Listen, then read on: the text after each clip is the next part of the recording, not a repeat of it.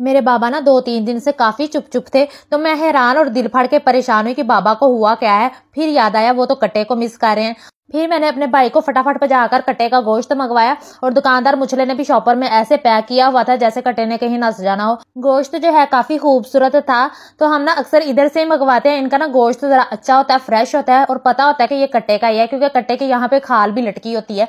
गोश्त साफ़ सुथरा ही था, फिर भी मैंने वॉश कर लिया था दो तीन बार चिमड़े हुए थे वो तारे। बड़े बड़े होटलों में ना बीफ का सालन इतना मज़े का क्यों बनता है और वो क्या करते हैं, क्या सीक्रेट इंग्रेडिएंट्स डालते हैं, ये भी आज आपको बता दूँगी, उनका मुछड़ों का बांडा फोड़ूँगी।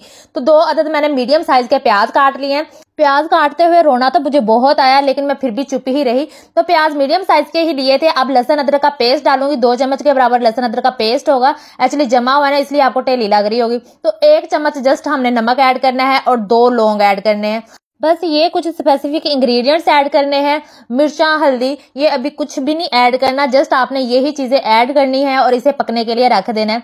डेढ़ लीटर के बराबर मैंने पानी ऐड किया होगा। अगर आपका मीट जो है, आपका नहीं मतलब कट्टे का मीट जो है, एक किलो है तो आपने डेढ़ लीटर पानी ऐड करना है और उतना ऐड करना है जितने में ये गल जाए, गल के थोड़ा सा यानी कि बच जाए। तो इसको मैंने 12 मिनट के लिए कुकर लगाया था। अगर ये बुढ़ा बकरा होता ना तो इसने 15 से 20 मिनट ले लेने थे, लेकिन ये फ्रेश बकरा था, कोई यंग ही था तो जल्दी इसका गोश्त गल गया। तो बारह मिनट में ये बहुत अच्छे से गल चुका है। अब मैंने इसको ना एक कड़ाही में निकाल दिया है, जिसमें मैंने पकाना है।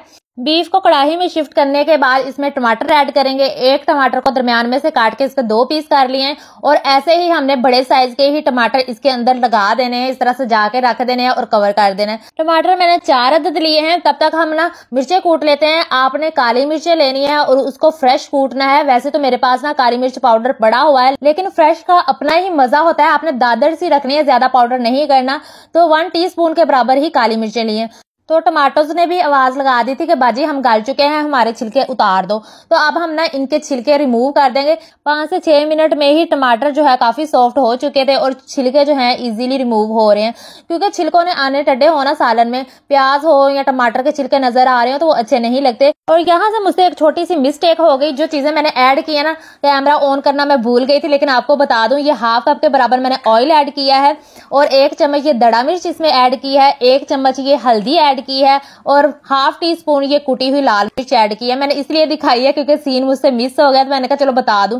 कैमरा ऑन करना ही भुल गई, मेरा दिमाग पता नहीं कितने पहुँचा हुआ सी। समटाइम ऐसा भी हो जाता है। अब ये दही ऐड किया है, ये हाफ़ कप के बराबर मैंने दही ऐड किया है, लेकिन आप लोगों ने एक कप दही ऐड करना है। अब ये काली मिर्च हमने कूट के रखी थी, वो भी बैठी बोर हो रही थी, उसको भी हम इसके अंदर डाल देंगे। अब अच्छी तरह से हमने इसको भूनना है। इसकी चंगी तरह से पोनी लगानी है।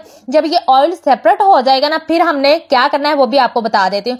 आप लोग तब तक जल्दी से वीडियो को लाइक कर दें और जो मेरे चैनल पर न्यू है रेड बटन को क्लिक करके सब्सक्राइब भी कर लें। अगर टिकटॉक से देख रहे हैं तो काइंडली रीपोस्ट कर दें और जो खुद ही कर देते हैं, उनका बहुत ज़्यादा शुक्रिया।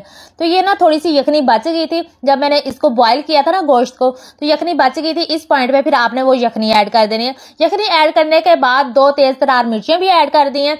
अब कवर करके इसको पकने देंगे, तकरीबन हमने 15 से 20 मिनट के लिए ना हल्की फ्लेम पर इसको पकने देना है, जब तक इसकी जो ग्रेवी है काफ़ी थिक नहीं होगी, क्योंकि हल्की फुल्की ग्रेवी में ही ये सालन जो है बहुत मज़े का लगता है। मैंने इसमें कोई एक्स्ट्रा इंग्रेडिएंट ऐड नहीं किया, ना बीफ मसाला कड़ाही मसाला, कुछ भी ऐड नहीं किया। और आप लोगों ने भी नहीं करना, ये कुछ स्पेसिफिक इंग्रेडिएंट्स जो आपको बताया ना, इसी के साथ बनाना इतना मज़े का ये गोश्त बनता है ना, आपके मुँह नहीं उतरेगा। तो उम्मीद है आज की रेसिपी आपको पसंद आई होगी, पसंद आई तो लाइक करें और ज़्यादा से ज़्यादा शेयर करें। अल्लाह हाफिज।